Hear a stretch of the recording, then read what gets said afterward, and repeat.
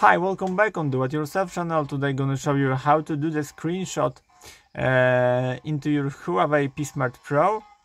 Uh, to do the screenshot, just press uh, power button and volume down together like this. And as you see on the app, you can uh, share. On the left, you can hide. In the app, you can share enough. So you can do the uh, screenshot on every single page of your phone as you see. And all of the image gonna be saved into your gallery of your phone. Here. As you see we have all of our screenshot. So that's it for now.